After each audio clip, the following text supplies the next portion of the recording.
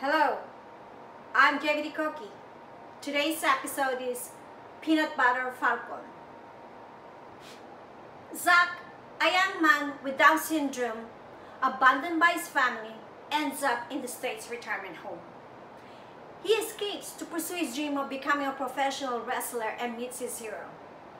In his getaway, he crossed paths with Tyler, a troubled fisherman heading towards Florida. Their journey together surprisingly bond them more than they expected.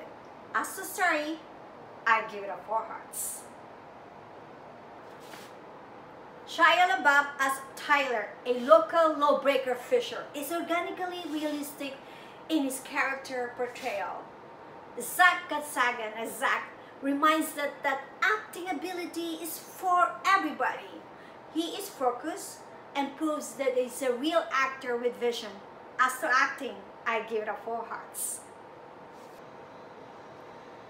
The writers directors have given the actor with disability an equal opportunity in the showbiz world.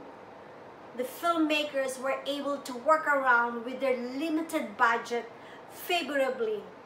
They were able to create a photographic, authentic location with local atmosphere. As a technique, I give it a four and a half hearts. The movie is playfully sweet and inspirational, heartwarming and enjoyable to watch. Emotionally uplifting and tell us that true friendship also means family. As for entertainment, I give it a four and a half hearts. With this, this is Jvei de Koki saying Arrivederci, paalam, adios, ciao, aloha, sayonara, au revoir. So long and my screen is closing. Thanks for watching. See you on my next episode.